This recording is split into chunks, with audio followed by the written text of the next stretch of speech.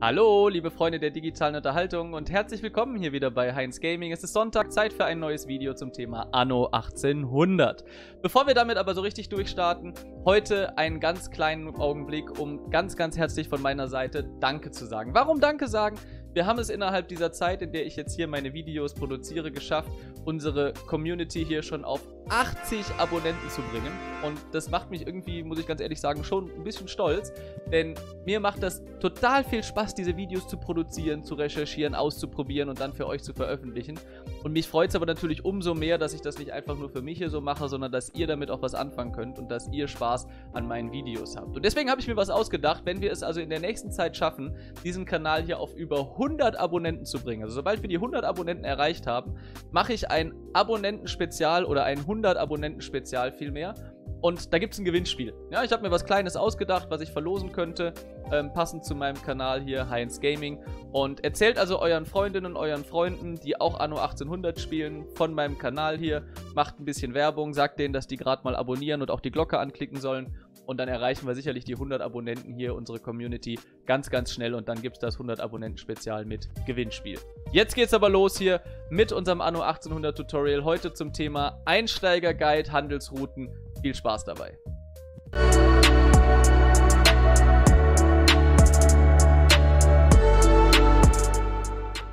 So, und da sind wir auch schon wieder. Und heute soll es, wie gesagt, um das Thema Handelsrouten in Anno 1800 gehen. Und zwar nur um die basischen Handelsrouten, keine Charterrouten, keine Ölrouten. Und wenn du schon etwas professioneller in dem Game unterwegs bist, weil du das schon länger spielst und sagst, hey, wie das geht, warum ich eine Handelsroute einrichte, wie ich die einrichte, das weiß ich schon alles. Mich interessieren nur dann die fortgeschrittenen Einstellungsmöglichkeiten. Dann guck mal unten in der Videobeschreibung, da gibt es eben Timestamps. Da kannst du dir genau auswählen, ab welchem Punkt du dir dieses Video anschauen möchtest. Wir starten aber jetzt durch mit dem Komplettprogramm. Und zwar schauen wir uns als erstes an, warum soll ich so eine Handelsroute überhaupt einrichten, was ist das, wie mache ich das Ganze und dann kommen wir eben zu den fortgeschrittenen Einstellungsmöglichkeiten. Und wir legen mal direkt los mit der Frage, warum soll ich eigentlich eine Handelsroute einrichten, was ist das überhaupt, was bringt mir das? Und zwar ist es so, wenn wir uns hier unsere Heimatinsel anschauen, da gibt es ja bestimmte Ressourcen immer drauf. Ihr wisst ja schon, wir haben schon Kartoffeln angebaut, wir haben auch hier schon mal Getreide angebaut, auf der Insel kann man hier hinten schön sehen. Aber wir bräuchten jetzt Bier. Ich habe hier hinten schon mal entsprechend die Bierproduktion aufgebaut. Aber wir brauchen, um das Bier herzustellen für unsere Bevölkerung, damit es ein bisschen mehr Geld gibt, Luxusbedürfnis erfüllt wird, brauchen wir jetzt Hopfen und Getreide als Grundrohstoffe. Das Getreide haben wir, wie gesagt, ja hier auf der Insel, aber den Hopfen nicht. Das können wir hier schon sehen. Wir müssen also jetzt irgendwo hin auf eine andere Insel. Kein Problem, habe ich mich schon drum gekümmert. Habe hier oben so eine kleine Insel mir ausgesucht. Ganz knuffig. Und hier habe ich schon mal drei Hopfenplantagen hingebaut. Die produzieren jetzt also eifrig Hopfen, weil hier auf der Insel Bay gibt es entsprechend die Fruchtbarkeit Hopfen, also kann das hier hergestellt werden. So, jetzt sind wir nämlich genau bei der Problematik angekommen. Wie bekomme ich meinen Hopfen jetzt von dieser Insel auf die andere? Klar, ich könnte mir einfach ein Schiff schnappen, manuell im Hafen. Ne, ich habe hier noch eins stehen, gehen wir mal gerade mal gucken. Hier, genau, da steht also das Schiffchen Seepferd. Und mit dem Seepferd könnte ich jetzt hier hochfahren auf die Insel, könnte da den Hopfen entsprechend einladen, könnte wieder mit dem Seepferd manuell hier runterfahren, könnte den Hopfen wieder ausladen. Und das kann ich immer mal wieder im Spiel machen. Aber, könnt ihr euch schon denken, ist natürlich super aufwendig, wenn ich das jedes Mal jetzt demnächst für jede verschiedene Ware, die ich irgendwie durch die Gegend fahren will, auch noch in die neue Welt, auch noch in die Arktis und dann demnächst ins Land der Löwen und weiß der Geier wohin. Das wird ein bisschen unübersichtlich und auch sehr aufwendig und deswegen gibt es da eine Möglichkeit, das Ganze zu automatisieren und da sind wir jetzt beim Stichwort Handelsrouten. Schauen wir uns also an, wie man so ein Ding einrichtet. So, wenn wir jetzt so eine Handelsroute einrichten wollen, dann müssen wir erstmal ins Handelsroutenmenü kommen. Und das klappt, indem ihr hier unten mal auf eure Karte guckt. Und unterhalb der Karte, da sind drei so Knöpfe. Ja? Da gibt es einmal Weltkarte, in der Mitte Diplomatie und genau hinter mir, das könnt ihr jetzt leider nicht sehen. Kriege ich das hin? Nee, kriege ich nicht hin. Genau hinter mir ist der Knopf Handelsrouten bzw. Routen heißt er einfach nur. Wenn ihr da drauf drückt, dann kommen wir hier in dieses Handelsroutenmenü. Und wir wollen jetzt eine neue Route einrichten, nämlich von hier oben, von der Insel Bay, runter auf die Insel Isla YouTube Tutorial um den Hopfen dementsprechend dahin zu produzieren. Und wir klicken auf Route einrichten und haben jetzt drei Sachen zur Auswahl. Handelsrouten, das ist das, was wir gleich machen wollen, mit einem eigenen Schiff. Charterrouten wäre, ihr habt kein eigenes Schiff und liest euch quasi ein Schiff. Das kostet dann natürlich Geld, beziehungsweise ab der vierten Charterroute auch Einflusspunkte. Oder eine Ölroute, also wenn ihr dementsprechend Öl durch die Gegend fahren wollt. Wollen wir alles nicht, wir wollen eine Handelsroute und deswegen klicken wir da jetzt drauf. Und dann öffnet sich dieses Handelsrouten-Einrichten-Menü. Ganz oben kann ich einen Namen eingeben. Nennen wir mal Hopfen alte Welt. So, dann weiß ich wenigstens, wenn man hinterher viele Handelsrouten hat, verliert man sonst leicht den Überblick. Ich nenne das jetzt mal so. Man könnte jetzt auch noch die beiden Namen der Inseln dahin schreiben. Bay, Schrägstrich, YouTube, Tutorial. Wie immer ihr das wollt. Ist egal. Hier auf das große Plus gedrückt, wird ein Schiff hinzugefügt. Wir hatten gerade gesehen, im Hafen steht noch das Schiff Seepferd. Das nehmen wir dafür jetzt einfach mal. Und man muss jetzt wissen, welche Schiffsart wie viele Ladekammern hat. Ja? Also die kleinsten Schiffe, diese ganz günstigen, die ihr am Anfang bauen könnt, die haben zwei Ladekammern. Dann so ein Flaggschiff hätte drei, die großen Handelsschiffe vier. Und wenn ihr später Dampfschiffe habt, dann haben die sogar sechs wir haben jetzt also hier eins mit vier Ladekammern. Kann man hier auch mal sehen, wenn ihr mit dem Cursor da drauf geht, sieht man einmal, wie viel Leben die haben. 2500 von 2500. Und Frachtplätze hat das Ganze vier, wenn es sich um einen Clipper dreht. Okay, es geht weiter. Was müssen wir jetzt machen? Klicken Sie auf eine Insel, um eine neue Station hinzuzufügen. Alles klar, wir gehen hier oben hin. Wir wollen da anfangen. Hopfen, Fruchtbarkeit, Insel Bay. Da haben wir unsere drei Plantagen hingebaut. Ich klicke da drauf und schon wird diese Insel in mein Menü übernommen. Ist also super easy das Ganze. Zweiter Halt soll hier die Isla YouTube Tutorial sein denn ich möchte ja den Hopfen da wieder ausladen. Nächste, was wir machen wollen, wir müssen jetzt einstellen, was soll dieses Schiff denn von der einen Insel zur anderen transportieren. Entladen kann ich noch nichts, habe noch nichts eingeladen, also klicke ich hier auf die Schaltfläche Klicken, um zu laden. Klicke da drauf und bekomme jetzt eine Übersicht aller Waren, die ich zu dem Zeitpunkt des Spiels zur Verfügung stehen habe und wähle jetzt hier meinen Hopfen aus. Ja, den finde ich hier, neun Stück habe ich da schon auf der Insel habe ich ausgewählt. Jetzt beschwert er sich hier schon, diese Ware wird nie entladen. Klar, müssen wir ihm noch mitteilen, wann er das machen soll und wo er das machen soll.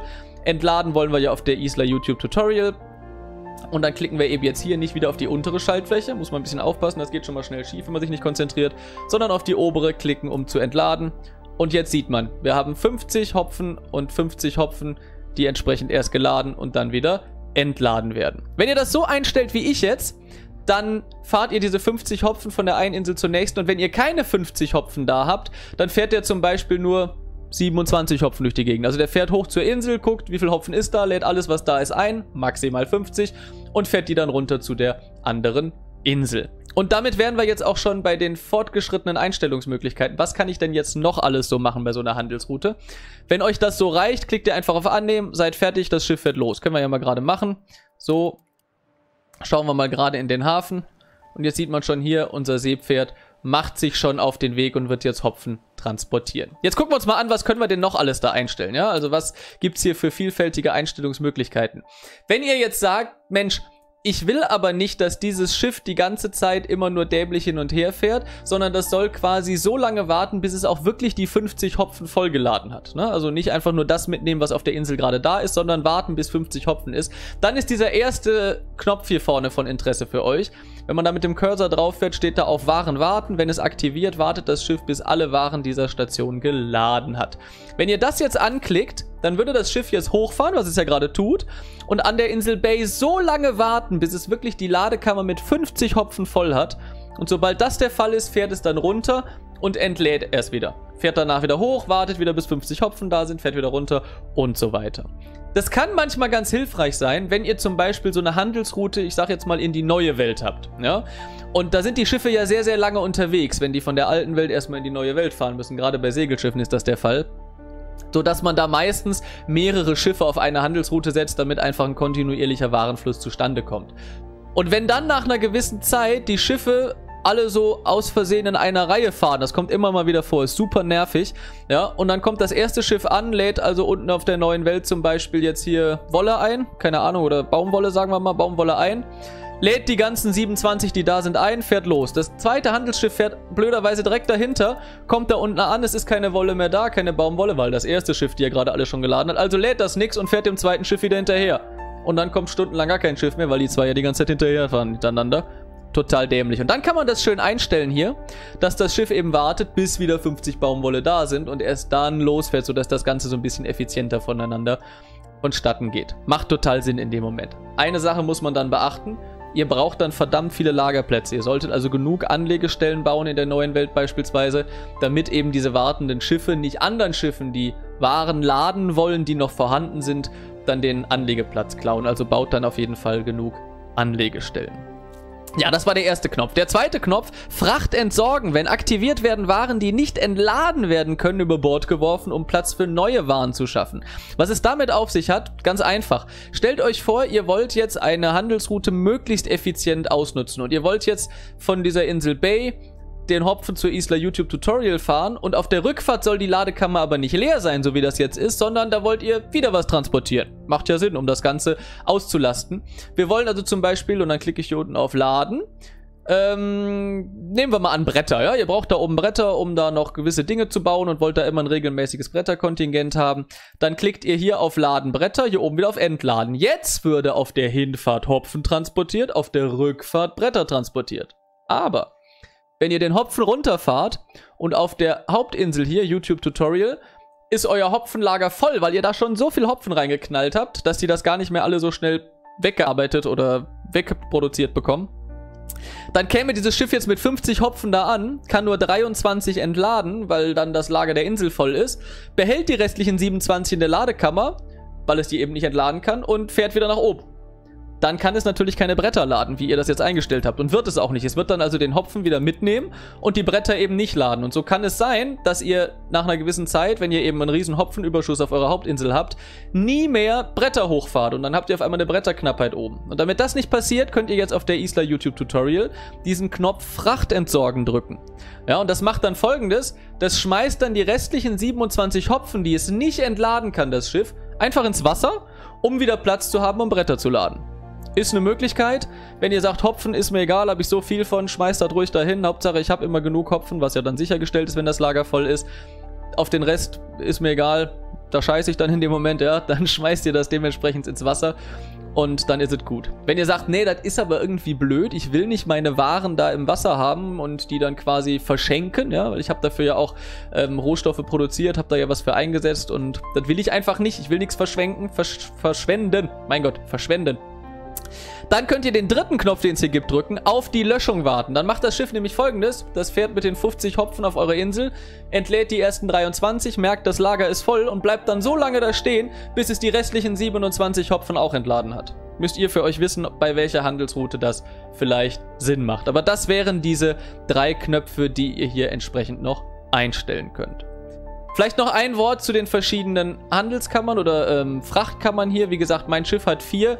Wenn ihr da jetzt theoretisch hier irgendwie fünf Frachtkammern einstellen würdet, ja, dann wäre es so, dass die fünfte bei diesem Schiff, deswegen gibt es hier oben das Ausrufezeichen, einige ihrer Schiffe haben nicht genug Frachtplätze, um diese Route vollständig zu beliefern.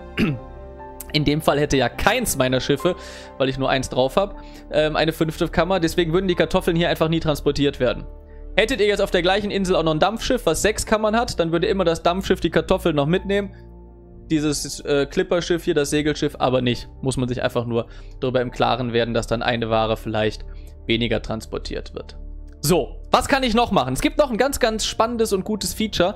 Und zwar gucken wir jetzt mal auf diese Karte hier drüben, wo man jetzt ja meine Handelsroute hier schon sehen kann. Von hier oben nach hier unten. Und wenn man das so eingestellt hat, unsere Handelsroute, wie wir das jetzt gemacht haben, dann fahren die Schiffe immer auf direktem Weg. Ja, man sieht also hier so eine Gerade auf direktem Weg dahin. Das ist nicht immer gut. Ich habe jetzt das Glück bei diesem Spiel hier, dass die Piratin Rahel mit ihrer Insel ganz, ganz links ist. Ja, also ganz im Westen ist diese Insel. Und die wird also mit ihren Schiffen, klar fährt die zwar auch rum, aber wir fahren jetzt mit unseren Schiffen nicht direkt an der Pirateninsel vorbei. Manchmal ist das aber so. Oder ihr seid jetzt beispielsweise, nehmen wir mal an, ihr seid jetzt mit dem Gelben hier im Krieg, ja, also mit dem George, mit dem Lieben, habt dann Krieg angezettelt, ja, und jetzt fahren eure Schiffe immer wieder am Hafen dann auf direktem Wege hier am George vorbei und die beballern natürlich eure, eure Handelsschiffe ganz, ganz dolle. Macht keinen Sinn. Dann kann man folgendes machen. Ihr seht hier zwei so weiße Nippel an der Route. Ja, und mit diesen zwei weißen Nippeln könnt ihr jetzt genau einstellen, wo eure Schiffe langfahren sollen. Also wenn ich zum Beispiel jetzt hier mal den Hinweg nehme und ziehe einfach mal den Nippel jetzt hier hin und lasse den da wieder los, dann sieht man, dass die jetzt auf, das ist nicht der Hinweg, sorry, sondern der Rückweg, dass die jetzt auf dem Rückweg die Schiffe nicht mehr beim George vorbeifahren würden, sondern hier am der grünen Insel vorbei, ja, beim Malching. Und auf der Hinfahrt wollen wir das natürlich auch nicht, dass die da längs fahren, dann ziehe ich den auch hier hin. So, und jetzt würden die Schiffe immer östlich am Malching vorbeifahren und kommen eigentlich überhaupt nicht mehr am George vorbei. Und somit habt ihr schon mal ein viel, viel äh, kleineres Risiko, dass die Schiffe dementsprechend angeschossen werden. Ja, und das macht bei so einer Pirateninsel natürlich genauso Sinn. Ja, und man kann das hier also sehr, sehr differenziert einstellen, wo die Schiffe da langfahren sollen. Die fahren dann natürlich nicht über Land, sondern nehmen immer den kürzesten Weg. Also ich sag mal, so, Moment. So hätten wir jetzt wahrscheinlich sichergestellt, dass die auf jeden Fall um diese Insel drumherum fahren würden. Müsste einfach mal so ein bisschen experimentieren, ein bisschen ausprobieren, wie das Ganze dann hier funktioniert. Finde ich aber auch ein super Feature und nutze ich relativ häufig eben, um einfach zu verhindern, dass meine Schiffe immer abgeschossen werden. Wenn ihr jetzt eine Handelsroute habt, die ihr gerade mal nicht braucht zu einem bestimmten Zeitpunkt und sagt, boah, die ist mir im Moment einfach zu blöd, die brauche ich nicht, habe ich genug Waren von, die können wir mal kurz pausieren, ähm, dann gibt es die Möglichkeit, hier im Handelsroutenmenü, sieht man das schon, ob die Handelsroute eingestellt ist oder nicht. Ne, jetzt muss ich nochmal zurück, da. Ne, also die läuft, hier ist so ein Pauseknopf, man sieht übrigens hier in der Übersicht auch immer sehr schön, wie viele Schiffe man auf welcher Handelsroute hat. Hier, die funktioniert gerade nicht. Man kann jetzt zu dem Schiff gehen, Nee, Zeitung ist mir jetzt gerade mal egal. Ähm, zu dem Schiff gehen entsprechend und könnte sagen, hier auf dem Knöpfchen Handelsroute aktiv. Ja, sieht man. Man sieht übrigens auch immer unterhalb des Schiffes, auf welcher Handelsroute sich das gerade befindet. Und man könnte jetzt hier draufklicken und die entsprechend pausieren. Dann bleibt das Schiff sofort stehen, macht nicht weiter. Und später, wenn man die Handelsroute dann wieder braucht, kann man das da auch wieder einstellen. Und jetzt sieht man schon hier, da, Achtung, alle Schiffe dieser Route wurden angehalten. Ja, kriegt man dann immer direkt eine Meldung. Wir lassen es aber jetzt weiterfahren. Und abschließend vielleicht noch ganz schnell, wenn ihr eine Handelsroute über verschiedene Welten hinweg bauen wollt, also zum Beispiel aus der alten Welt hier von der Isla YouTube Tutorial in die neue Welt, um dort Baumwolle, Kaffee, Weiß, der Kuckuck was abzuholen, dann gibt es hier oben die Regionsschaltflächen, da könnt ihr jetzt hier zum Beispiel in die neue Welt klicken, könnt sagen, okay, hier habe ich meine Insel hier unten. Ja, Ödenhausen. Klasse Name. Ödenhausen, da will ich jetzt Baumwolle einladen. Klick da drauf, klick dann wieder auf die alte Welt, klick auf meine Zielinsel und so könnt ihr dann entsprechend auch die Geschichten weltenübergreifend machen. Ich hoffe, das Video hat euch gefallen und alle Fragen zum Thema Handelsrouten sind jetzt geklärt. Wenn das nicht der Fall sein sollte, dann schreibt mir doch gerne eure Fragen zum Thema Handelsrouten noch hier unten in die Kommentare. Die beantworte ich dann schnell und gerne. Ansonsten freue ich mich, wenn ihr mir einen Daumen nach oben da lasst. Da freut sich auch der YouTube-Algorithmus. Und wir sehen uns dann wieder nächste Woche. Ich wünsche euch noch einen schönen Sonntag. Macht's gut, bis dahin und denkt dran, 100 Abonnenten sind das Ziel. Ciao, macht's gut.